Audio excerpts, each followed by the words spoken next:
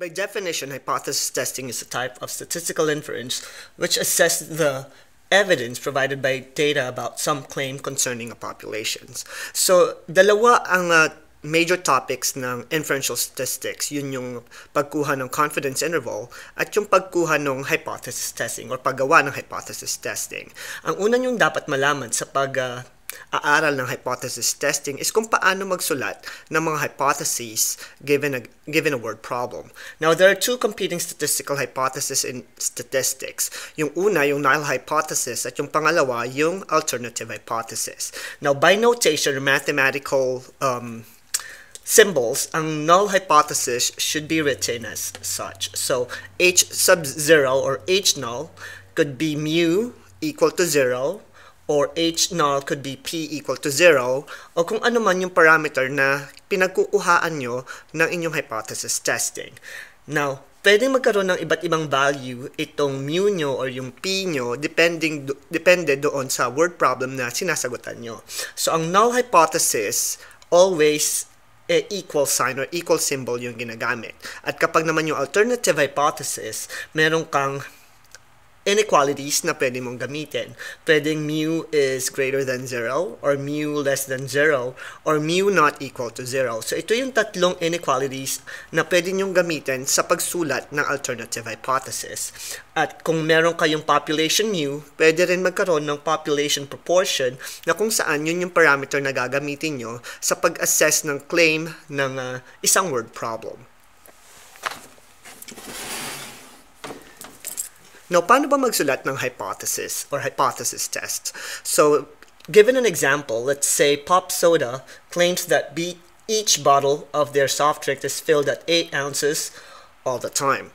So, pwede natin pwede tayong magsulat ng hypothesis base dito sa claim ng manufacturer na to na Pop Soda given that sabi nila yung kanila daw mga soft drinks eh 8 ounces yung laman ng bawat botelya. So, ang pwede nyong null hypothesis would be each bottle is filled with 8 ounces of soda per bottle. So sa null hypothesis, importante na lagi nating uh, bibigyan pansin yung claim doon sa word problem. So ang null hypothesis, paniniwalaan natin na siya na yung claim is palaging totoo. So pagsulat niya in statistical notation, let's say yung mu nyo is the average soda content nitong inyong uh, pop soda. So pagsulat nyo ng uh, null hypothesis using mathematical symbol, pwede niyong gamitin si h sub 0, mu is equal to 8 ounces. So ito yung mathematical notation doon sa null hypothesis nyo. At ito naman yung description ng inyong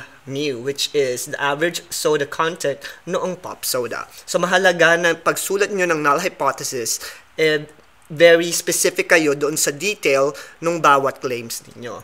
At doon sa alternative naman, halimbawa, tinetest natin kung totoo yung claim nitong pop soda, pwede natin siyang gawa ng alternative hypothesis na kung saan each bottle is filled with less than 8 ounces of soda per bottle. So, pwede natin siyang itest using sample or based doon sa given sample doon sa word problem. So, let's say yung mu nyo is still the average soda content pero yung alternative hypothesis nyo would be mu should be less than 8 ounces. So ito yung itetest natin kung totoo para ma-disprove yung claim ng manufacturer based doon sa word problem. Now, isa pa sa mga pwedeng uh, isulat sa alternative hypothesis, eh pwede rin siyang gawing H sabi or H alternative is mu greater than 8 ounces or mu not equal to 8 ounces. So ito yung posibleng alternative hypothesis na pwede nyo gawin. Depende doon sa complete set ng word problem na sinasagutan ninyo. So ito yung pagsulat ng alternative hypo ng hypothesis. Pwede kang magsulat ng null at dapat marunong ka rin magsulat ng alternative hypothesis. Sa null hypothesis, you always use an equation as alternative hypothesis, you will always end up an inequality symbol.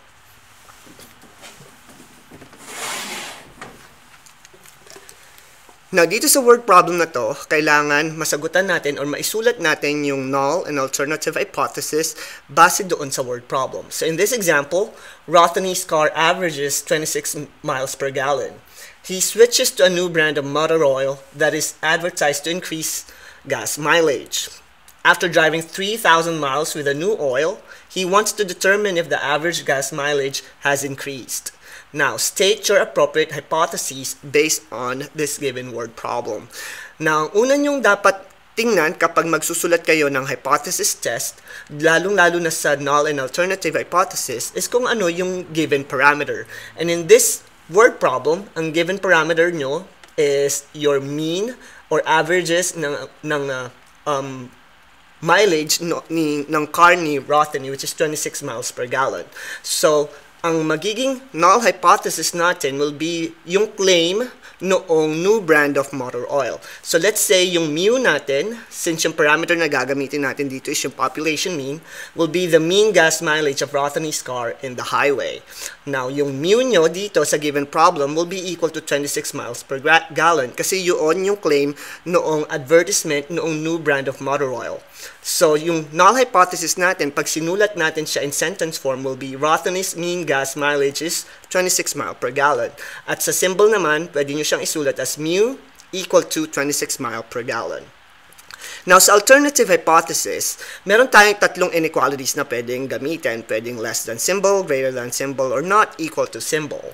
Now, paano nyo madidetermine kung ano yung hinihingi ng word problem? Kailangan marunong kayong maghanap ng mga keywords or clue doon sa word problem kung anong inequality ang gagamitin ninyo.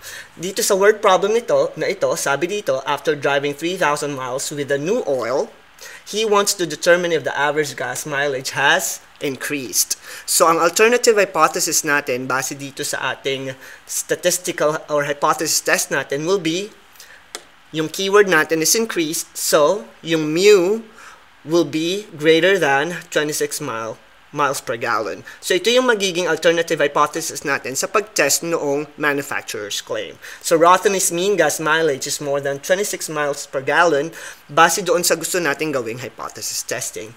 At yan yung pagsulat na isa sa pinakamahalagang steps ng paggawa ng hypothesis testing kung paano magsulat ng mga hypotheses.